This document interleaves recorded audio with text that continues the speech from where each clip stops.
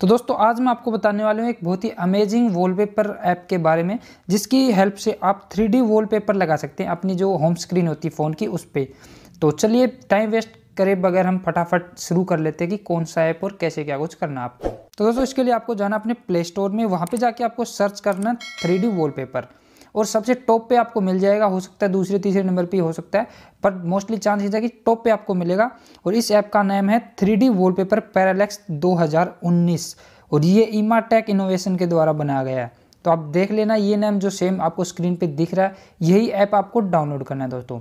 ये app download करने के बाद आपको ओपन करना है ओपन करने के बाद यहाँ पे आपको अलग अलग तरह के वॉलपेपर देखने को मिलेंगे, जो आप पहले से उसमें आप चेक कर सकते हैं कि किस तरह का आपकी स्क्रीन पे वो दिखाई देगा। जैसे ही आप अपनी फ़ोन की स्क्रीन को ऐसे रोटेट करेंगे, हिलाएँगे फ़ोन को तो उसमें वो रोटेट होगा आपका जो वॉलपेपर है वो। तो आप उसका प्रीव्यू देख सकते हैं पहले से। जो भी आपको वॉलपेपर अच्छा लगे, वो आप डाउनलोड कर सकते हैं। और कोशिश कीजिए कि जो जितने ज़्यादा लेयर का ऊपर लेयर लिखी हुई आपको मिलेगी four layer six layer eight layer जितनी ज़्यादा लेयर का वॉलपेपर हो, वो उतना ज़्यादा अच्छा होगा। तो बाकी कोई दिक्कत नहीं है लेयर से इतनी, क्योंकि उसमें पहले से ही आपको अच्छे थ्री डी वॉलपेपर मिलेंगे।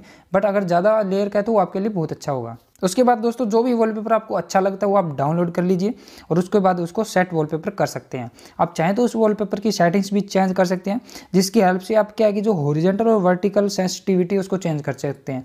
यानी कि आपके, जब अपने फ़ोन को आप साइड में हिलाते हैं दाएँ बाएँ, या फिर ऊपर नीचे फ़ोन को हिलाते हैं तो वो कितना ज़्यादा वो वॉलपेपर है, वो चेंज हो। एक तो बहुत धीमे चेंज होगा अगर कम सेंसिटिविटी होगी, और अगर ज़्यादा सेंसिटिविटी होगी तो अगर थोड़ा सा हल्का सी भी हिलाएँगे तो वो ज़्यादा हिलेगा। तो ये सब चीज़ें आप उसमें चेंज कर सकते हैं। और दोस्तों, इसमें एक चीज़ हो रहा है कि आप डबल टैप टू चेंज का ऑप्शन अगर एक्टिव करते हैं तो इसमें क्या है, जितने भी आपके पास वॉलपेपर डाउनलोडेड होंगे तो अगर जैसे ही आप होम स्क्रीन पे दो बार टैप करेंगे तो ऑटोमेटिक वॉलपेपर चेंज हो जाएगा। तो आपको अंदर से जाके बार बार चेंज करने की ज़रूरत नहीं है।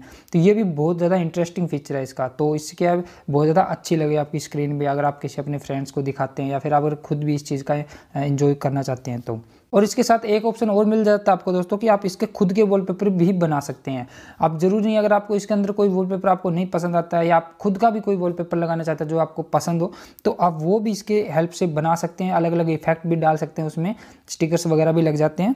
तो इस तरह से आप क्या है कि बहुत ही इंटरेस्टिंग वॉलपेपर अपनी जो होम स्क्रीन है मोबाइल की, उस पर लगा सकते हैं और आपके डिवाइस को एक बहुत अच्छा लुक देगी, जैसे आप डिवाइस को अनलॉक करेंगे। तो ये था दोस्तों एक बहुत इंटरेस्टिंग ऐप आपके लिए, जो मुझे मिला तो मैं आपके लिए लेके आया। तो आप जाइए डाउनलोड कीजिए इंस्टॉल कीजिए और इन्जॉय कीजिए इस ऐप के वॉलपेपर को।